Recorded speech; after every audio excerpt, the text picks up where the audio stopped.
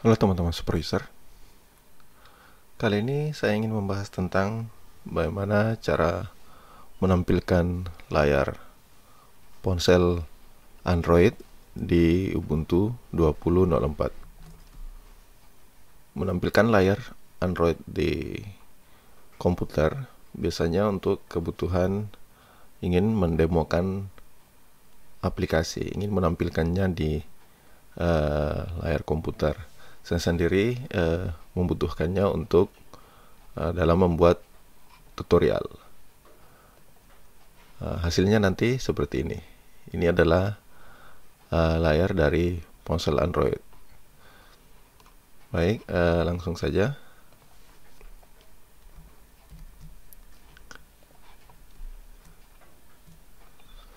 Yang pertama kita siapkan konfigurasi di Android itu cukup uh, kita mengaktifkan uh, developer options dulu.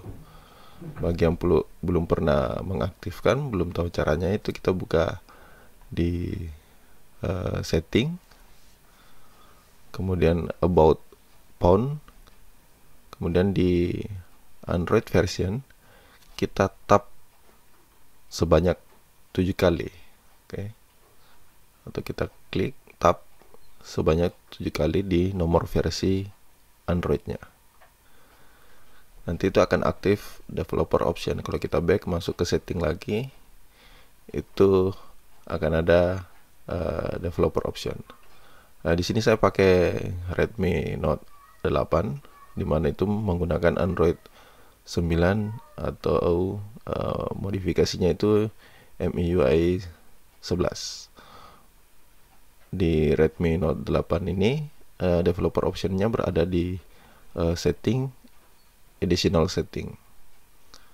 Uh, kemudian kita masuk di developer developer option. Itu kita aktifkan USB debugging.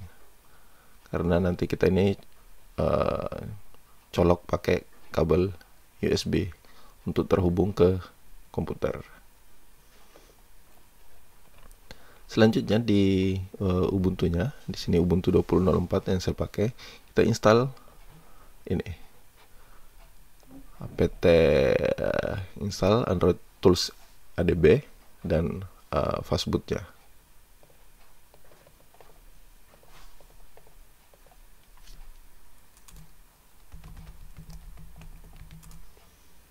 Oke, ini sudah terinstall. Kemudian kita juga install uh, screen copy. SCRCP nah inilah tools yang digunakan untuk menampilkan ke uh, layar Android dari uh, layar Android ke Ubuntu. Inilah yang digunakan. Tool utility ini dikembangkan oleh Geni Mobile perusahaan yang sama yang mengembangkan emulator Android Genymotion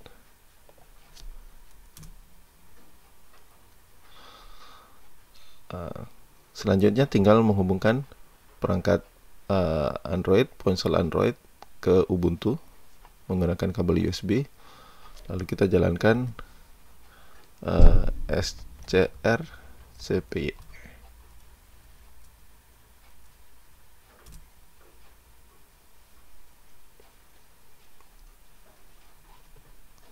Oke, ini sudah terbuka. Uh, ini sedang lock screen uh, aplikasinya uh, apa uh, uh, ponsel Androidnya. Nah langsung tampil. Oke. Okay.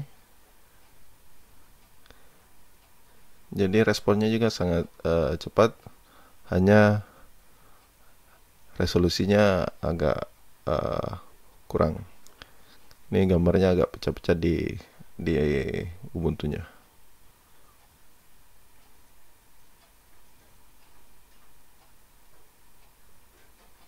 Oke, jadi dengan seperti ini kita bisa membuat uh, apa demo aplikasi atau memudahkan kita dalam membuat tutorial.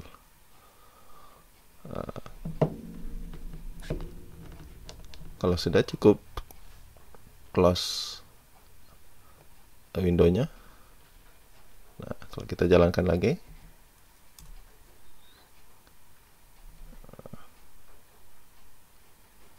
Oke, jadi seperti itu. Sangat sangat mudah. Cukup install ADB dan Fastboot di ponsel Android. Jangan lupa diaktifkan uh, developer option USB debugging.